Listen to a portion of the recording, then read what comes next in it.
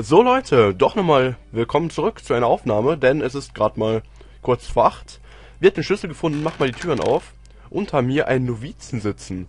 Pedro, das ist der Gute, der das Auge Inos aus dem Kloster entwendet hat. Was macht der denn hier auf den Hallen von Erdorat?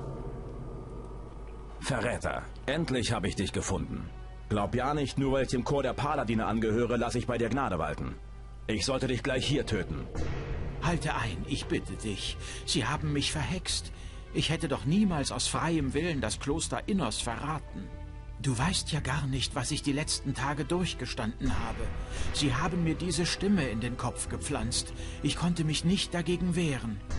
Der orkische Oberst hat mich tagelang verhört. Er hat mich ständig geschlagen. Verschone mich. Mich trifft keine Schuld. Du musst mir glauben. Nenn mir nur einen Grund, warum ich dir glauben sollte. Gar nichts muss ich. Ich werde dich jetzt töten. Erzähl mir, was du weißt. Erzähl mir, was du weißt. Ja, natürlich. Ich sag dir alles, was du willst. Unter einer Bedingung. Du musst mich von dieser verfluchten Insel herunterschaffen, hörst du? In Ordnung. Folge mir, ich bringe dich zum Schiff. Ich danke dir. Du wirst es nicht bereuen. Gut, Pedro, dann komm mal mit.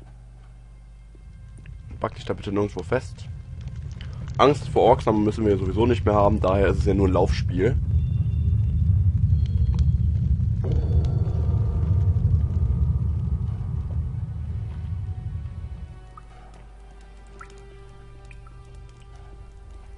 Ja, wer sich jetzt fragt, warum ich so handle und ihn nicht töte, das hat einen einfachen Grund. Wir wissen, dass diese Besessene, dass man besessen werden kann. Und ja, ich bin einfach ein guter Mensch, der sich gerade aufregt, dass da wieder irgendwo Orks spawnen.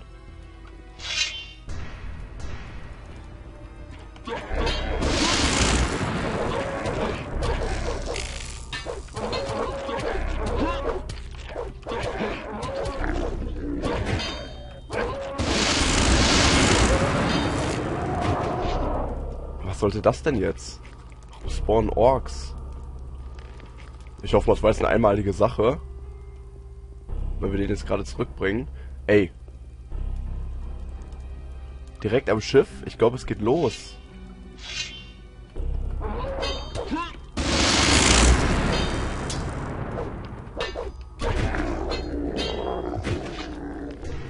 Da ist nichts. So, wenn jetzt alle auf dem Schiff tot wären, dann würde ich mich übertrieben aufregen.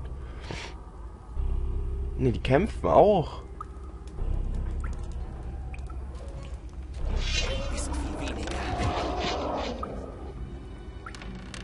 Was soll das denn? Ja, du bist auf dem Boot. Da sind wir. Ein stattliches Schiff hast du da. Du bist wahrlich ein großer Feldherr. Hör auf zu schwafeln. Erzähl mir, was ich hören will. Ja, natürlich. Womit soll ich beginnen? Wie war das mit dem orkischen Oberst? Er hat mir den letzten Funken Hoffnung genommen, jemals meine Heimat wiederzusehen. Seit ich hierher gekommen bin, fragt er mich aus über die strategischen Stellungen der Paladine in Korinis. Natürlich konnte ich ihm nicht viel dazu sagen, wie auch verdammt. Ich bin ein Novize des Feuers. Noch mehr Ärger kann ich nicht. Der orkische Oberst ist tot. Tot? Gepriesen sei Innos. Ich werde seine hässliche Fratze niemals mehr vergessen. Das hätte ich dir vorher sagen können. Welche Unholde treiben sich noch auf dieser Insel herum? Noch mehr. Tagsüber sieht man oft Echsenmenschen zur Küste laufen. Sie tragen meistens sehr große Eier mit sich herum. Ich bekam nicht sehr viel mit in meiner Zelle, aber ich glaube, sie machen sich bereit, die Insel zu verlassen. Ja, das stimmt. Wie komme ich ins Innere der Insel? Es gibt einen geheimen Gang im Thronsaal des orkischen Obersts. Ich bin jedes Mal dorthin geschleppt worden, wenn er mich verhören wollte. Da habe ich es gesehen. Einer der Schamanen hat einen Mechanismus in Gang gesetzt, indem er an den Fackeln, die in dem Saal an den Wänden hängen, gezogen hat. Hm? Ich glaube, er hat erst die linke und dann die rechte Fackel gezogen, aber genau weiß ich das nicht mehr. Im hinteren Bereich öffnete sich plötzlich ein geheimer Gang, der bis tief in den Berg hineinführt. Wo dieser Gang endet, weiß ich nicht. Ja, wir haben genug gehört. Ich habe genug gehört. Such dir einen Platz auf meinem Schiff. Ich habe noch einen Job zu erledigen. Möge die Macht Innos dich begleiten. Ich werde für dich beten. Okay. Sollen wir mal zu Milton gehen dem mal petzen, dass wir Petrus gefunden haben? Der wird bestimmt nicht so glücklich sein. Wann muss das hier so kommen? Ich habe Pedro gefunden. Pedro, so. Was? Wo? Hier auf der Insel? Verdammt, er ist aber auch wirklich unglaublich. Für so einen abgebrühten Mistkerl hätte ich ihn nun wirklich nicht gehalten. Ich werde mit ihm bei Zeiten noch ein Hühnchen rupfen. Gut, mach das. Sag nicht, das hast du nicht gewusst. Aber egal, wir haben einmal mehr auf dem Boot und das freut mich. Wo wurde jetzt gerade ein Ork umgehauen, frage ich mich, weil hier war gerade noch irgendwas los. Irgendjemand hat dort die Waffen gezogen, das habe ich ganz genau gehört. Und ich meine, die sind hier reingelaufen. Watras, du lebst noch, oder?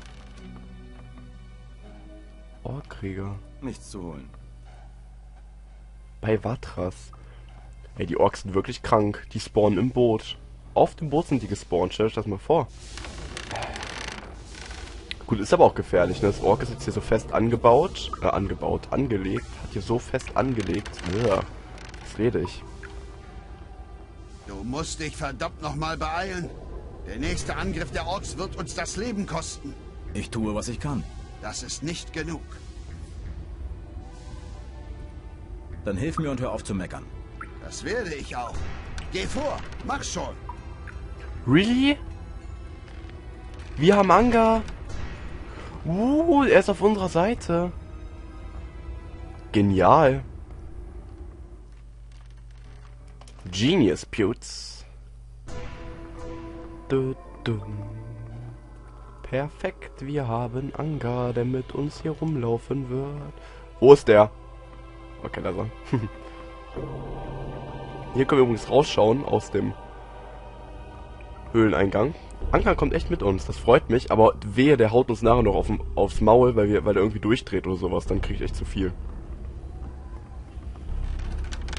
Jetzt haben die aber auch einen Mann weniger hier auf dem Boot, ne? Darf man auch nicht vergessen. Ist auch nicht so toll. Und wir müssen aufpassen, dass Anger nirgendwo festbackt. Also eher ein, La- eine Last oder ein, eine Hilfe? Das frage ich mich gerade. Hm. Lieber zu zweit als alleine auf der Insel. Auf, bei den, auf den Hallen von Irdorat, sagen wir es mal so. Level Up dürfte nicht mehr so lange dauern. Nö, geht eigentlich. Ist etwas über 11.000 Erfahrungspunkte. Das ist eigentlich 8 GB und 4 GB USB-Stick, der hier rumliegt. 8 GB. Ja, schön, schön. Hallo? Hallo. Gut, der ist immer noch da. So, wie gesagt, da drin erwartet uns jetzt nichts mehr. Wir werden uns auf jeden Fall die beiden anderen Gefängniszellen noch anschauen, die da noch waren. Da waren ja drei Stück.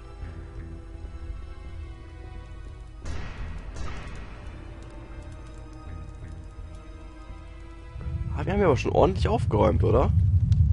Der Troll ist tot, die ganzen Orks sind tot, der orkische Oberst ist tot. Wir leben, Anga lebt, die Besatzung lebt, Pedros lebt. Also, perfekt, oder?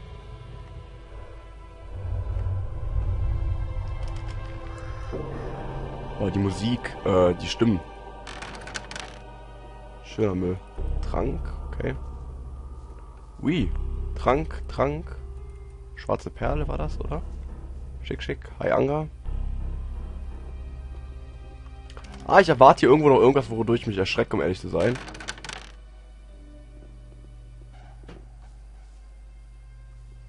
Holy. Dämon beschwören. Hier ist auch extra eine Spruchrolle.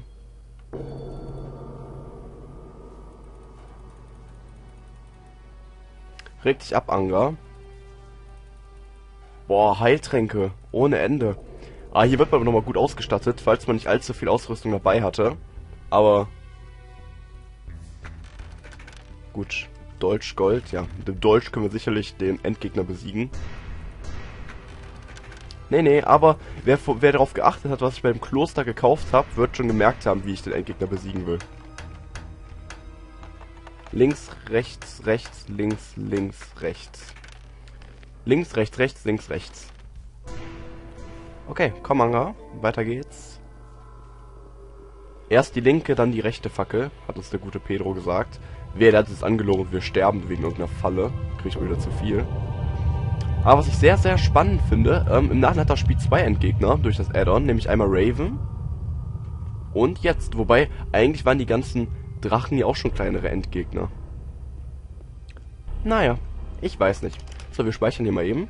Erst die linke, dann... Äh, fuck, weg mit dem Bogen. Erst die linke, dann die rechte Fackel. Links. Rechts. Na. Wirst wohl. Hallo. Meine Güte.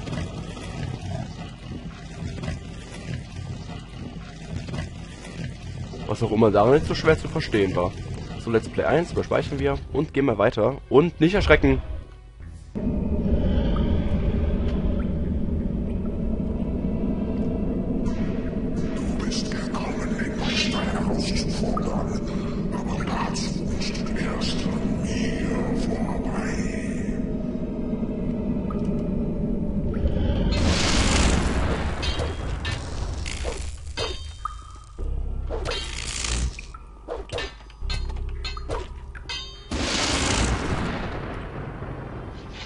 Und danke für deine Hilfe, Anga.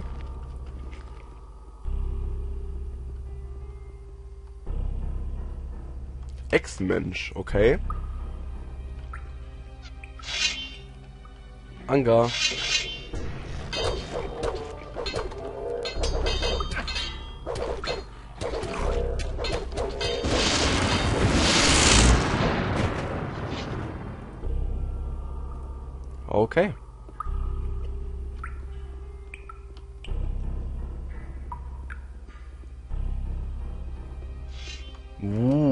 Waren viele.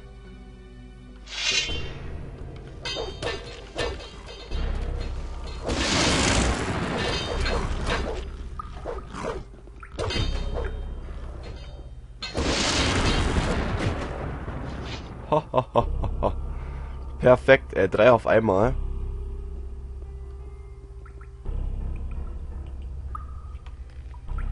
Ähm, wir brauchen Heilung. Und zwar ganz dringend. Falsche Richtung. Nehmen wir mal so einen Trank der kompletten Heilung, oder? Oh. Wir haben so Tränke auch dabei. Des Geistes. Wo kommen die Tränke her? Hm. Okay. Interessant, was man so für Tränke findet.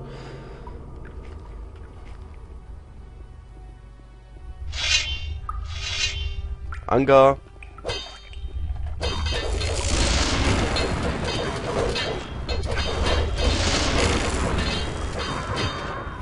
Uiuiui. Also Anga macht ordentlich Schaden. Mit einem Schlag macht er, wenn der einen kritischen Treffer ausführt, schüttet er so einen Echsenmensch mit ihm zur Hälfte. Das ist mehr als schick.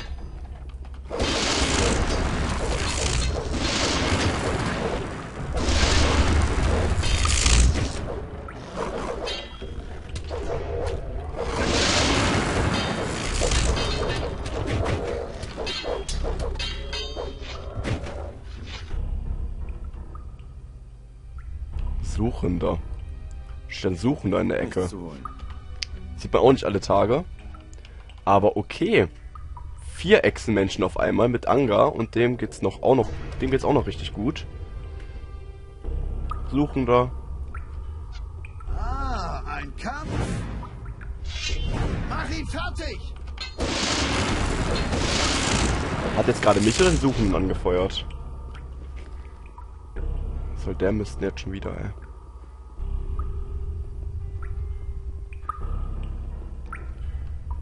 Dracheneier.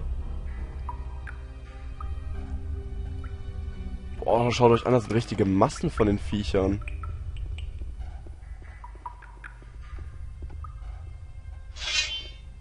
Schon wieder ein von diesen Biestern. Anga, das sind zu viele.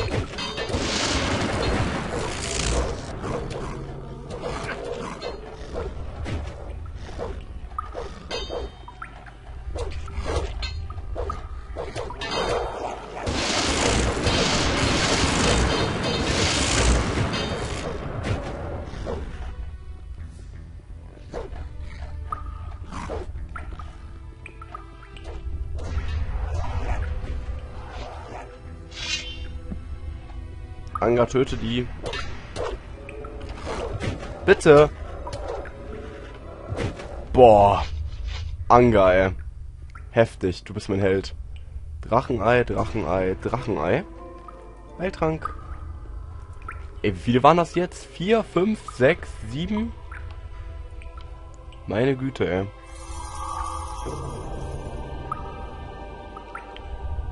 Also das übertrifft meine Erwartungen um Weiten.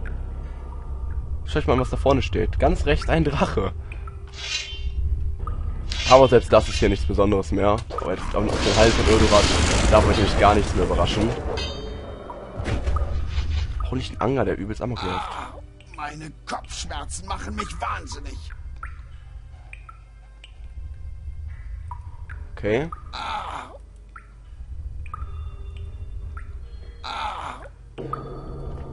Bleib zurück. Alles klar. Was soll das? Bleibt nicht zurück. Ja, war klar, den Drachen müssen wir alleine bekämpfen. Ähm, ähm, ja, Heiltrank. Heiltrank. Ähm, dann müssen wir die, dann müssen wir das gute Auge Inos anlegen. Ähm, des Weiteren legen wir mal einen guten Dämonen beschwören. Auf die Taste 9.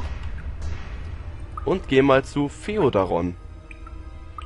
Dem Drachen, der hier steht.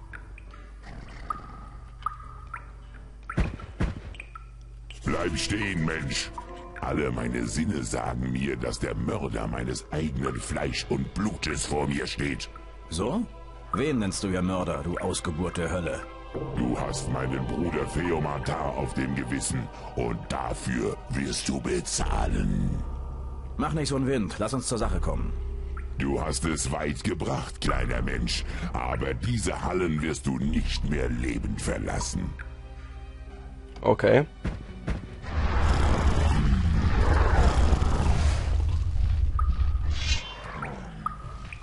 Das ist erstmal ein Dämon. Fiodaron.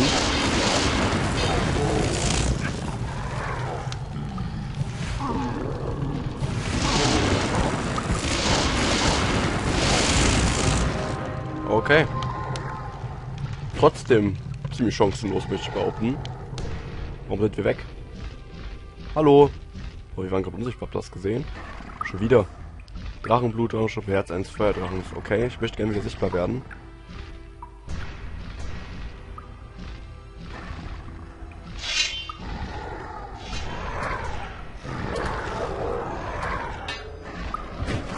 Dämon. Hilf mir, ich sehe mich selber nicht.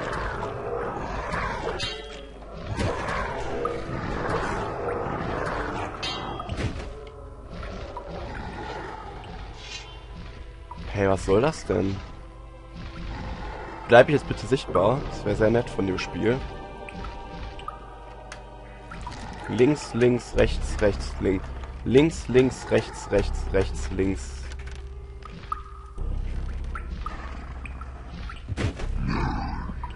Okay, tot. So. Ähm, ja. Dann haben wir hier zwei Türme mit zwei Schaltern.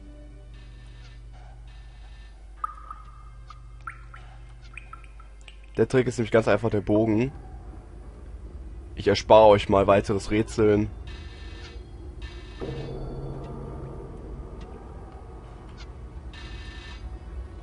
Bin ich gerade ein bisschen blöd? Wo ist der Schalter? Oh, da kommt die Brücke ja schon angefahren. Ja, man muss einfach mit dem Bogen gegen jeden der beiden Schalter schießen. Das war schon das ganze Geheimnis dahinter. Ähm, Trank, Trank, Heiltrank, Heiltrank, Heiltrank. Okay, geht ja doch ziemlich gut voran. Meine Güte, Leute, dauert nicht mehr lang. Höchstens 4, 5 Videos, dann haben wir das Spiel durch, würde ich sagen. Ist gerade schon die Ziellinie. Boah, erschreckt mich nicht so, ey. Du bist gekommen, mein Meister. Ja, kennen wir schon.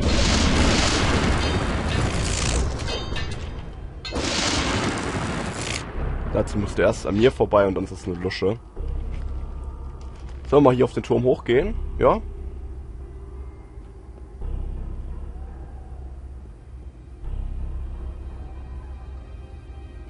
Das ist, was ich dem Spiel wirklich sehr, sehr schön finde, dass sie sich selbst hier in, diesem Letz in dieser letzten Welt noch richtig Zeit genommen haben, um das richtig ordentlich alles zu entwickeln. Links, links, rechts, rechts.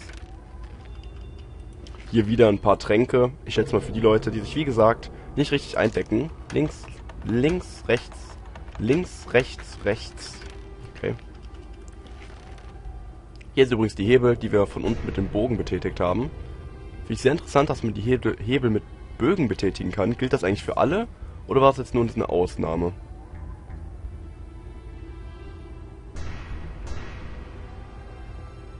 Das Skelettkrieger. Niederes Skelett, niederes Skelett. Denkt ihr, ich bin blind und sehe das dann nicht? So dumm bin ich jetzt auch mal wieder nicht. Das ist echt kein Skelett. Boah, ich bin voll, ich bin schon dumm. Ich dachte gerade, das Funkeln da wäre ein Skelett.